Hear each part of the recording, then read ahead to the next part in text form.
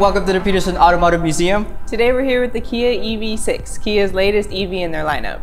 That's right, Kelly, and uh, Kia Motors has actually provided this car today. We were really excited to obviously look at this car and go a little bit in depth. Yeah, and uh, just so you guys know, this is the first EV that both of us have ever driven, That's, so... that's right.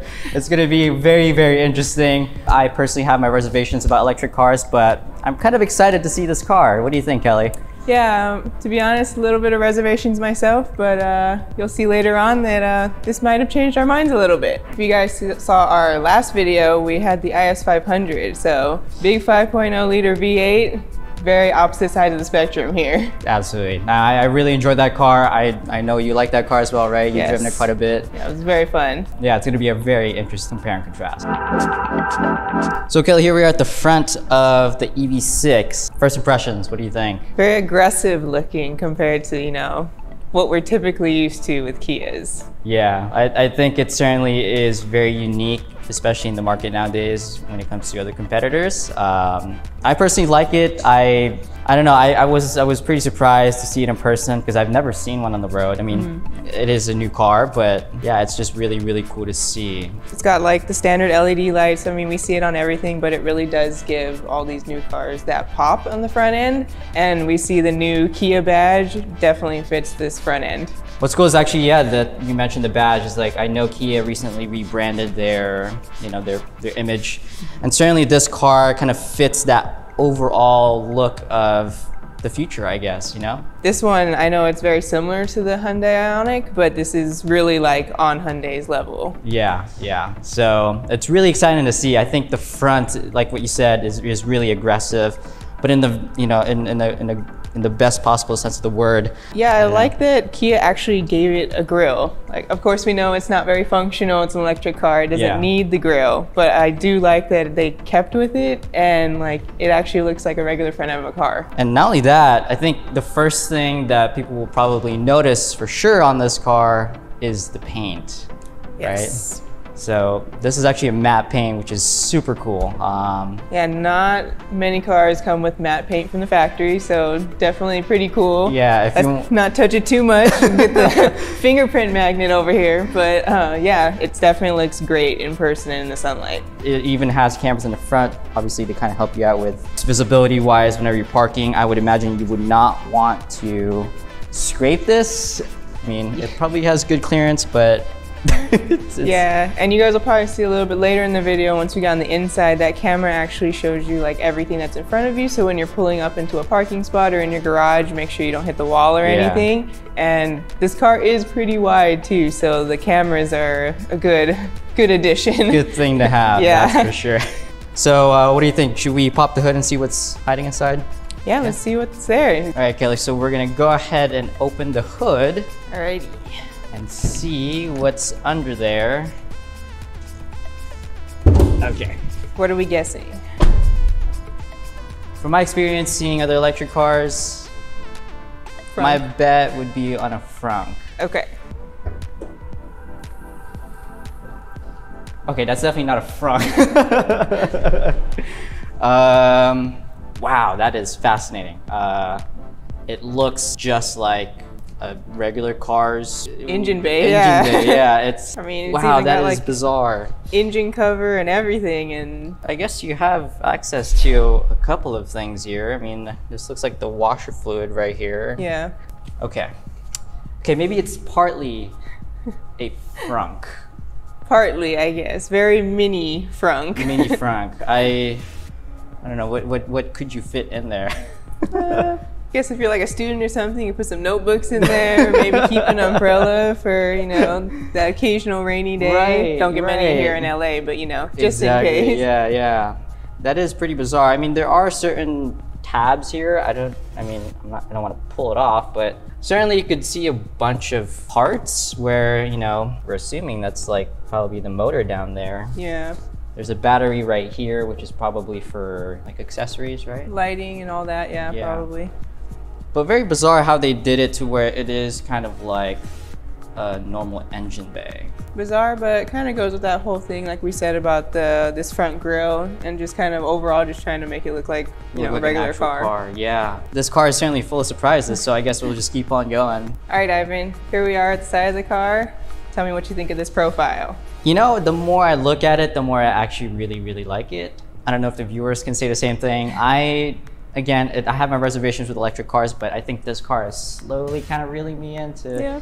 piquing my interest a little bit. I think the body lines is very, very sleek. It's a good looking car, I think. Yeah, I appreciate the minimalism that we're seeing here. I mean, you know, you still have your crossover as kind of body line here, but then you have all your flush door handles and your mirror turned in. But it does have a touch of aggressiveness if we look down kind of at like the wheels and the tires. Yeah. This thing is sporting 20 inch wheels. That's crazy.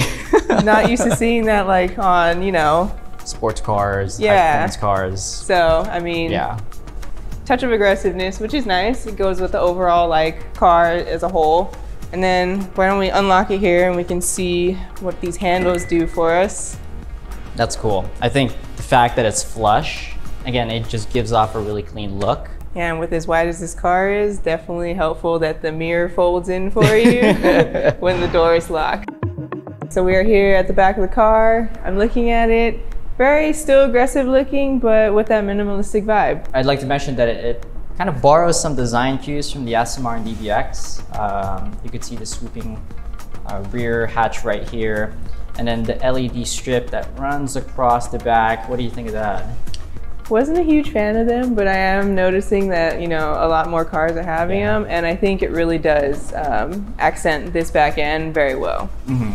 Yeah, it, it looks great overall. I think again, it's it's kind of Kia, you know, modernizing and kind of rebranding and reimaging their their look into the automotive world, which is I'm all, all for it, and uh, I think it just looks great. You can see the GT line right here, and actually, what's cool is like the charging port is actually here in the back as well. So since we have it unlocked, it's touch sensitive. So if you just touch it like this, pops out. Um, and if you want to close it, there's a button right here.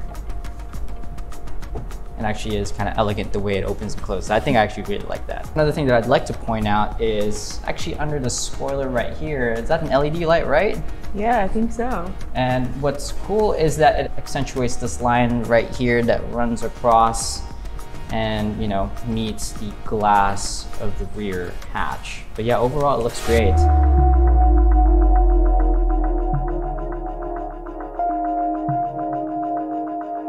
So Kelly, we're inside the Kia right now. Um, I have to say it is extremely well put together, kind of like you're in a spaceship. Yeah, the first thing that kind of jumps out at me is it's spacious. Yeah. Like it's it seems really big. Yeah. And I don't know if that has to do with this kind of weird gap right here, but this actually is not connected to Yeah, you know? exactly. it, th- there's no kind of traditional center console where you kind of get split from the driver. Yeah. Right.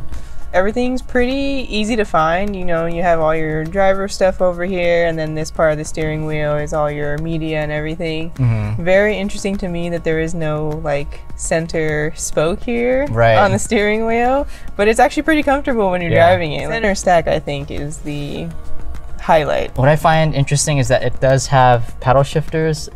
Is that really a paddle shifter, or what is so that? So it kind of works like a paddle shifter. So your left one is well, actually your left one is the plus here, and your right one is the minus. Minus, yeah. um, but it actually adjusts brake charging. So the higher you put it, the more brake recharge you'll get. So when you let off the gas, uh, it will start slowing down the car faster. The higher that number is.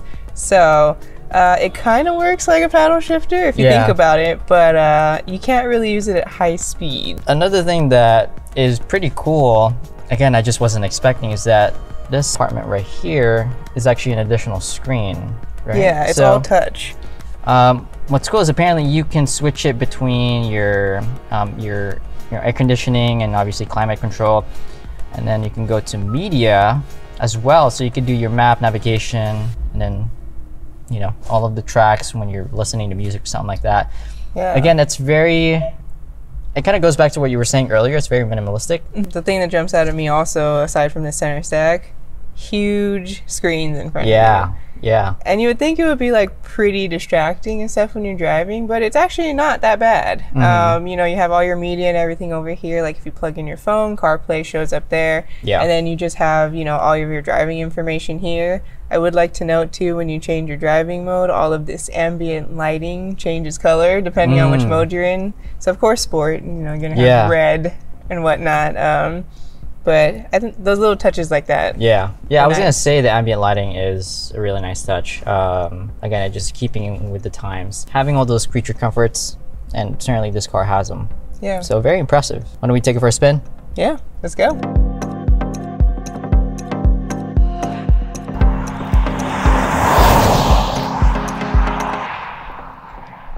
Right, Kelly. So we're inside the Kia EV6. We're actually driving around LA right now. So, what do you think so far? It's comfortable. Uh, it's really easy to drive. Yeah. Like, you know, the instant torque, you go when you tell it to go. So it's just really easy to drive. And it's really nice. Like, right now we're going through a little bit of like Beverly Hills area, lots of stoplights, and it's just super comfortable. Coming from a gasoline car, like, you know, I wasn't, I didn't know what to expect at Yeah. all. Um, but one thing I actually really noticed is a lot of the noise when I'm driving is just road noise, Yeah. not necessarily motor noise. Yeah. So like even inside the car with the electric vehicle, no motor noise. Yeah. It actually still kind of sounds similar. Yeah. I Like unless you have like an exhaust or something on your car, then we're talking about different story. But like if you just have a stock like gasoline engine, you really don't hear much with all the insulation now. Yeah. So it actually doesn't sound too different. Yeah. It is kind of bizarre when you like turn it on and you don't hear anything. It's like Yeah. you don't even know when it's on or not. But I, I do agree. It is very impressive. It's super comfortable inside. It's just taking all of the all of the ridiculous bumps here in LA as you'd expect. It's not necessarily the best of roads, but no, it, it feels really comfortable inside. So Kelly, as with every car nowadays, it has to have different mode. Well, this one has eco, normal, and then sport. Um, majority of the time, obviously, this is going to be an eco, but have you tried using it in sport at all? Sport mode is my favorite.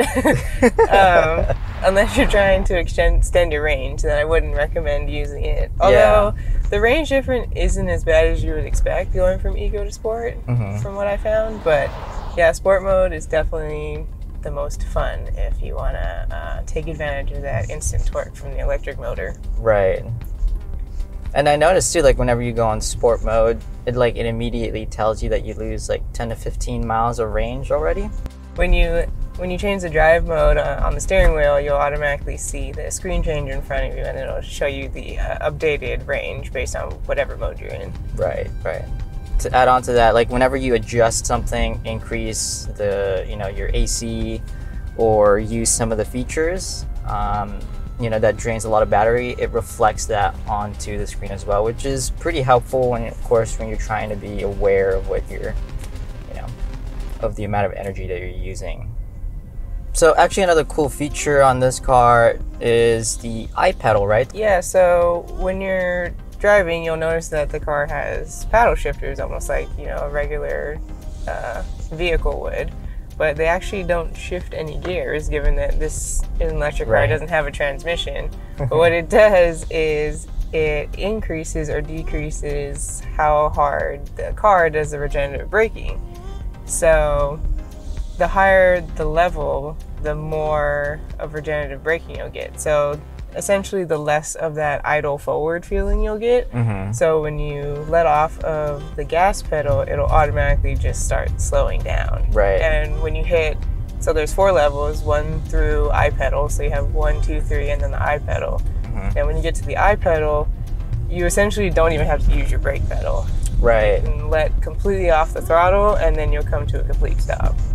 That's really really cool. Um, and with that said, that actually, in theory, that gives back a little bit of energy back to the the battery, right? Yeah. So the more regenerative braking you have, the more it will give back to the battery. So, Mhm. like we are talking about, if you're worried about your range or anything like that, the higher you have on those levels of braking, the better. Mm-hmm. And did you notice any difference at all, or it's just kind of one of those things that it's kind of cool to have, but Uh, I didn't see a whole lot of difference in the range. So, like when I was looking at the numbers and using the iPedal, it didn't do much. Um, but you can really tell a difference. You kind of almost have to reteach yourself how to use the the throttle pedal right. um, because it brakes so hard. Well, Kelly, now that you've been driving, why don't I go ahead and actually try it out myself? What do you think? Let's go. So now that I'm behind the wheel, I will say it's it's like after living with this for a couple of days, it's actually really I think I'm kind of opening up to the idea of really embracing this technology. Since of course we're both pretty big into internal combustion engines, we like cars that make noises and all that good stuff. It's I think it I don't know, I think it, this is just a great product from Kia to where I think they really did an incredible job in terms of just making this car a great overall introduction to people out there who might be in the market for for an electric vehicle. Um, yeah, I think it's really really cool. Uh, one thing that I noticed too is whenever I was, you know, whenever I took this car out, is that everybody would stare at it. It's I think the way it looks, uh, it's definitely one of those things where um, a lot of people can appreciate it, or if anything, really, people are kind of wondering what the heck is that? That doesn't look like your typical electric car. Yeah, and I think for people like us, we live in LA, lots of traffic. You know, it's just really nice to have a car that's easy to drive in Yes. stop and go traffic. Yeah, something that's comfortable, quiet. Um, again, I never really had any issue with the range. I think it has a good enough amount of range. And from my experience when I was charging it, I got it to about 50%. And I used Electrify America. And from 50 to 80%, it was about 10 minutes. Okay. So it was pretty quick. It was, Yeah. it was, it wasn't too bad. And then from that, it kind of slows down after 80%, percent um, which I guess makes sense because I guess the battery gets hot when you're really charging it that fast. So overall, from 50 to 100, it was about 37 minutes. okay. So And I did. Um, that was probably one of the faster chargers, I'm guessing. right, Um, I know I did one of the slower charging ones, and I think I got about eight percent or so within I don't know half an hour, Mm-hmm. 45 minutes. So significantly longer, but right, um, the price was definitely a lot Yeah. lower than gas prices, so I can't complain there. yeah, And I mean, if you're going to somewhere like I was at a mall, I just sat the car there and plugged it in. right. It really doesn't hurt you that much if you're just gonna, you know, be walking around. Right, and exactly. Go back to your car and you got a little bit of charge there. Yeah, yeah, definitely. Yeah, I think in total, like for the amount I spent on the charge I did, it was like eighteen dollars, um, and I got around 170 miles back, which again isn't too bad. Um, I think it's just one of those things that as time goes on, it's just going to keep getting better and better. Yeah. All right, so Kelly, I'm actually going to turn the drive mode into sport. You ready? So, I am ready. Okay, we're just waiting for the light to turn. Okay. oh goodness, okay. and we're already breaking the law. that was crazy. Okay. Um isn't it 0 to 60 on this car is like 4.6 seconds? yeah, I like think that uh, is it beats fast. a Cayman. So um, Oh my god. Um I felt like my insides moved quite a bit. a little bit. a little bit. But... Kelly, here we are, ending the day, uh, spending a little time with the EV6. What do you think so far? It's been quite an experience, hasn't it? Yeah, I mean, I think like we mentioned before, first electric vehicle, so I don't have a lot to compare it to, but I am overall very impressed. You know, I'm all for your gas guzzling V8s, you know, that raw power, but it will go, and it was really impressive. So some of the key highlights for me was interior, exterior design, amazing. Mm-hmm. Can't even tell it's a Kia. It looks mm-hmm. nothing like what they've done in the past. Mm-hmm. And then we were a little, you know, spoiled. We had the dual motor option, so I mean, it it went whenever Yeah, we needed it to. yeah. Just overall, very, very impressed. Agree. I have to agree. I'm all for high-powered performance cars, but I think having both electric and gas, you know, that's kind of the best of both worlds. Um, yeah, I think this is a great introduction for me, anyways, to, to electric cars. Like you said, it it's certainly away from what Kia would usually make cars, you know, and you know, that's something that we could certainly praise them for.